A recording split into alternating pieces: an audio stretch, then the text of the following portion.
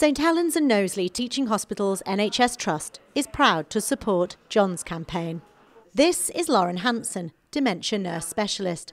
She's one of the team who helps to deliver the Trust pledge to support John's campaign. John's campaign is a national campaign that we have embraced within the Trust. It calls for the right of carers of people with dementia to have the right to stay with the person they care for whilst in hospital.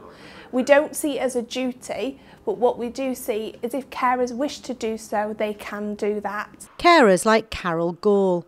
She looked after her mum Alice and benefited from John's campaign. Alice was a very strong woman. She was like the godmother over all of us. What she said went. What, even now, even at our age, we had to do what she said. She had, she wanted to look, it wasn't a case of looking pretty. She was proud. She was glamorous. And thanks to John's campaign, Carol was able to continue caring for her mum even when she was in hospital. For my mum, I could keep her glamorous. I could keep her her herself, to sit there, to keep being proud. It made, made her keep her who she was. Alice sadly passed away at home a few months after first being admitted to hospital. But Carol will always be grateful for the time she was able to spend with her mum. John's campaign is so important.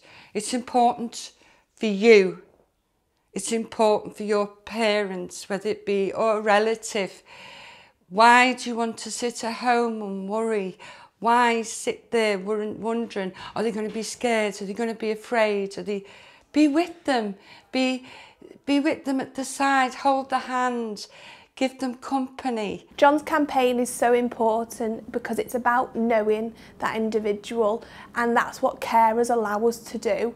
They allow us to know what's important to that person, what's their likes, what's their dislikes, what routines are important to that, to that person, what's going to maybe cause that person distress or anxiety. And by embracing the carer and all the knowledge and the skills that they, they are able to give and provide, we are be, we're able to provide better care to that individual and a plan of care and a treatment plan that is important and individualised to that person.